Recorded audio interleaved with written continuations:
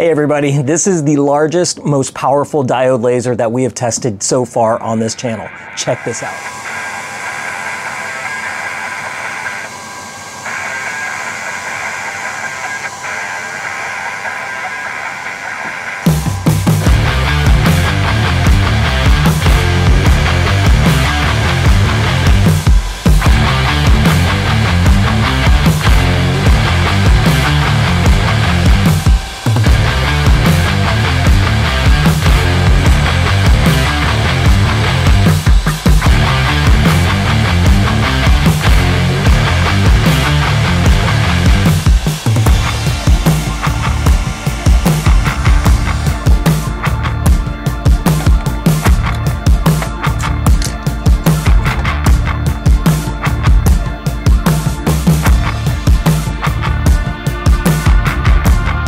Guys, what is going on? Welcome back to the channel. On today's video, we have the LaserTree K1 Max here, an 800 by 600 millimeter footprint diode laser that has three lasers in one. It's a 20 watt, 40 watt, and 60 watt laser, which is ridiculously powerful for a diode laser. What we're gonna do today is we're gonna go ahead and test it out. We're gonna do a test cut on some really thick pine here that I have. This is an old cutting board that I actually purchased from Walmart. Uh, we're gonna do an actual cut test on this, and I believe it's going to cut through this in one pass. The next test we're going to do is this 3 quarter inch MDF. We're going to go ahead and do a project for my wife that she's requesting. I'm really hoping that this will be able to power through this MDF. Now it's probably not going to take one pass. It might take three or four, but we're going to go ahead and do it. All right, now I already have it set up here and I've already done one test cut off camera that you saw at the very beginning and it did absolutely flawless with the 20 watt diode. But before we get too far ahead of ourselves, let's back it up a bit to the unboxing and assembly. So you can see exactly what comes in the box and how this thing gets assembled. Let's get to it.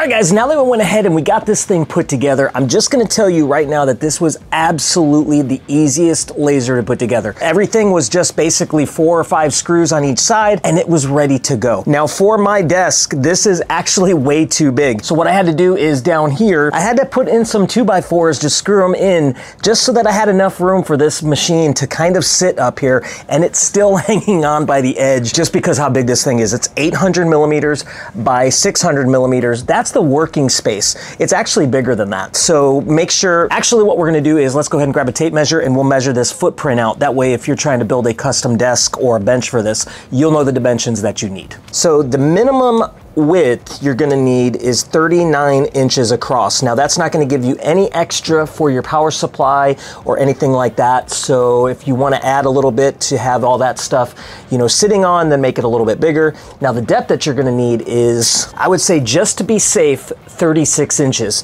Now where there is good, there's always something not so good. And I'm gonna have to talk about that real quick. So the honeycomb that they do send you, which is nice that they send you a honeycomb, is actually really small.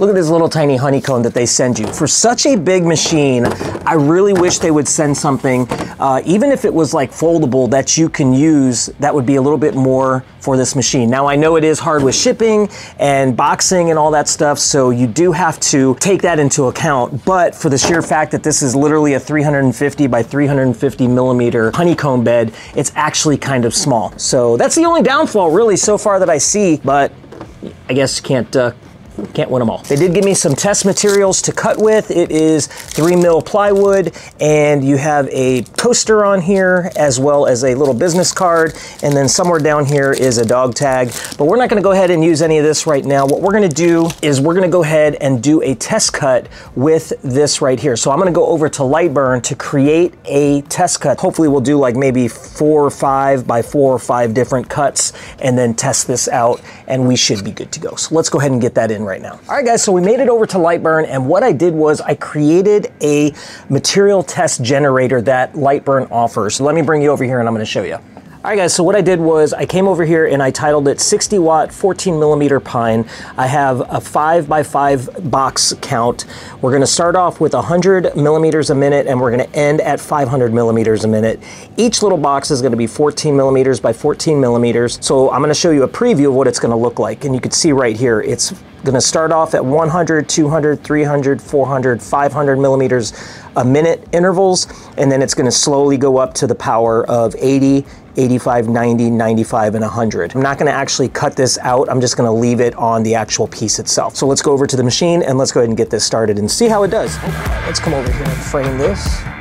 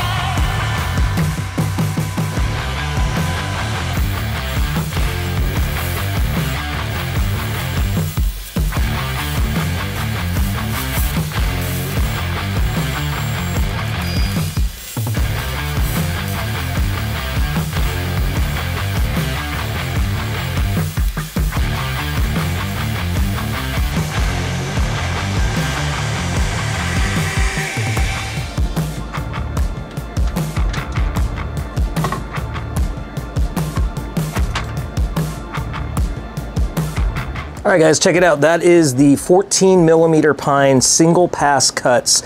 And let me tell you something, it just sliced right through it. It almost made it, some of it actually burnt really crazily on the back, and it almost made it at 300 millimeters a minute. Now, you're not gonna get a lot of details out of this, I don't think, uh, just for the sheer fact that it probably could potentially burn the back. You could see right there, it just just kind of fried the back of that uh, cutting board right there. But uh, yeah, there it is. So what we have our power set is at 400 millimeters a minute, 90% power, and we're gonna do three passes on this MDF. Now again, it's three quarter inch, so we'll see how that does. If anything doesn't drop through, I'll just go ahead and I won't move anything and we'll just do one more pass. So hopefully we can get this done in three passes and see what happens, because essentially uh, this will basically just be a puzzle. So let's go ahead and send this to the machine. Let's do a quick framing on it and see how this thing does at three passes. I think are good to frame.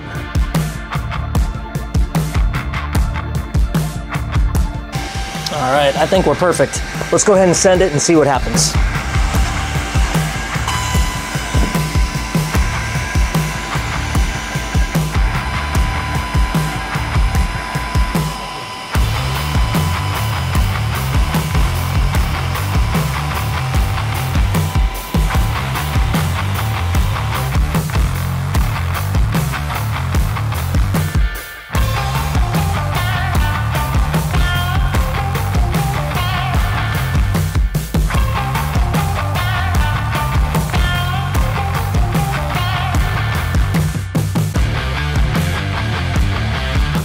All right, guys, sorry for the quick cut in, but I made a critical error on uh, this cut right here, and it stopped midway, and that was strictly due to my fault. I'm gonna turn around the camera and I'm gonna show you what happened, and it has everything to do with wire management. About three quarters of the way through the cut, it just stopped and I couldn't figure out what was going on until I noticed something. Let me show you. So there's a lot of loose wires over here and this power cord that was running from here to all of my stuff back here got in the way of the little e-stop right here. What happened was this cord kind of moved and went over in this area and when it did that, the machine was moving back and forth on the y-axis and what happened was this cord hit that e-stop and that stopped the machine three quarters of the way through and I couldn't figure it out. I couldn't figure out what was going on with it and what was happening. So I basically turned everything off and I thought it was just something to do with the machine.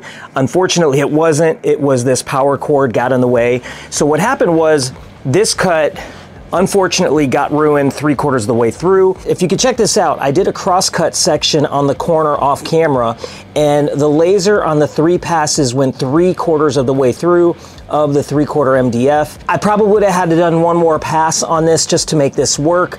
But with that being said, I only have a piece of half inch MDF. I don't have any more three quarter inch MDF to do this project. And my wife says it's okay. So what we're gonna do is we're gonna resume this on a half inch piece of MDF. We're gonna do the same settings. I'm gonna basically do one pass at a time, let it finish the whole project, kind of do the design. Then I'm gonna come back and do another pass. And if I need to do it one more time, I'm gonna just set it for one more pass. So I'm gonna kind of do each pass manually. And I'm also gonna bring my fume extractor that I have sitting over there because MDF stinks really bad. And I'm gonna go ahead and hopefully kind of reduce that smell a little bit and get that done. So let's go ahead and get this uh, started. Here we go.